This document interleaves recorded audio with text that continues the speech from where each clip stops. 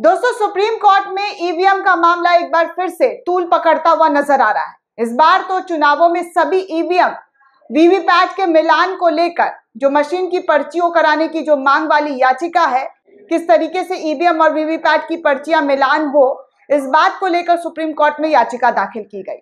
और इस पूरे मामले पर कल कोर्ट में सुनवाई हुई और सुनवाई में सुप्रीम कोर्ट के जस्टिस बी आर गवई और जस्टिस संदीप मेहता की खंडपीठ ने चुनाव आयोग को नोटिस जारी करते हुए इस सवाल का जवाब मांग लिया है।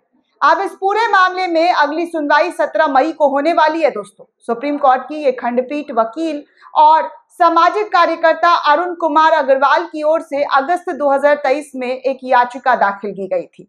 उस याचिका पर कल सुनवाई चल रही थी दोस्तों, जिसमें मांग की गई थी कि सभी ईवीएम में पड़े मतों का मिलान वीवीपैट की पर्चियों से करना चाहिए। इस याचिका में कहा गया है कि मतदाताओं को वीवीपैट की पर्ची को फिजिकली वेरीफाई कराने का भी मौका दिया जाना चाहिए, जिससे पारदर्शिता बना रहे, जिससे जनता को यकीन हो सके कि ईवीएम और वीवीपैट में कोई भी धांधली ना हो।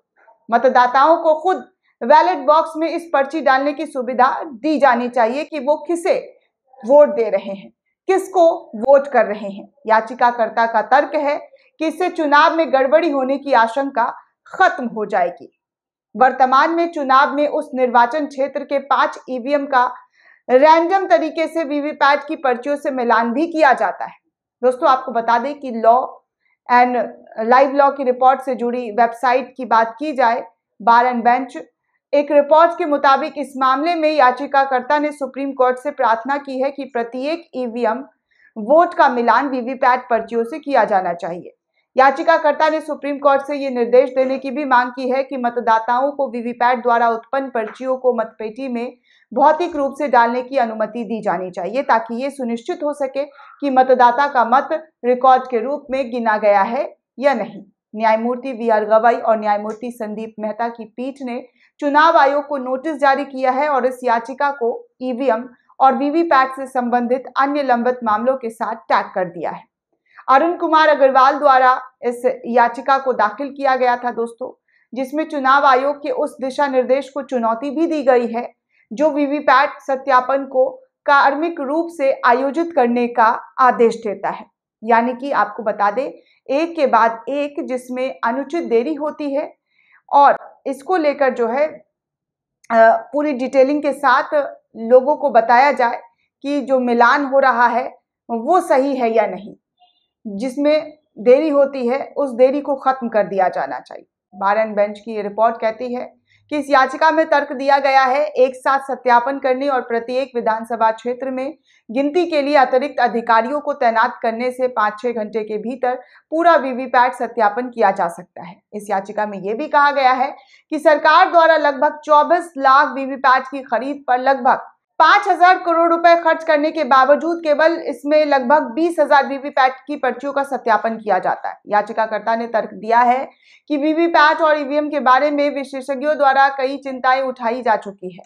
दोस्तों, आपको बता दें कि पहले के समय में भी ईवीएम और वीवीपैट वोटों की गिनती के बीच कथित विसंगतियों की महत्वपूर्ण संख्या के बीच ये आवश्यक है कि सभी वीवीपैट पर्चियों की सावधानी पूर्वक गिनती की जाए। इसके साथ ही इस याचिका में दलील दी गई है कि मतदाताओं को अपनी वीवीपैट पर्चियों का भौतिक रूप से मत मत पेटी में जमा करने की अनुमति देकर ये पूरी तरीके से सत्यापित करने का अवसर दिया जाना चाहिए कि ईवीएम पर उनके वोटों का सटीक हिसाब लगाया गया है।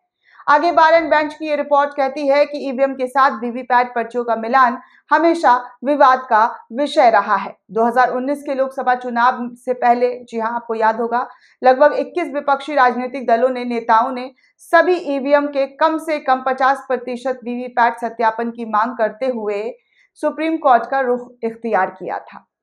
उन्होंने सुप्रीम कोर्ट का दरवाज़ा खटखटाया था। उस समय चुनाव आयोग प्रति विधानसभा क्षेत्र में केवल एक रैंडम ईवीएम का वीवीपैट से मिलान करता हुआ नज़र आया था। 8 अप्रैल 2019 को सुप्रीम कोर्ट ने ये संख्या एक से बढ़कर पाँच कर दी थी और उस याचिका का निपटारा कर, कर दिया था।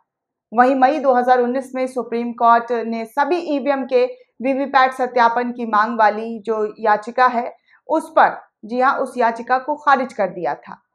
लेकिन अब ये मामला सुप्रीम कोर्ट में एक बार फिर से उठता हुआ नज़र आया और उन्होंने इस पूरे मामले पर सुनवाई करते हुए चुनाव आयोग को नोटिस दिया है और कहा है कि आप इस पूरे मामले पर जवाब दें। सुप्रीम कोर्ट को इस पूरे मामले की जो गंभीरता है, उसको बताएँ। दोस्तों, इस पूरे रिपोर्ट को लेकर आप क्या सोचते हैं? आपकी क्या प्रतिक्रिया? हमें कमेंट करके ज़रूर बताइएगा। साथ ही साथ चैनल को सब्सक्राइब करना बिल्कुल भी ना भूलें।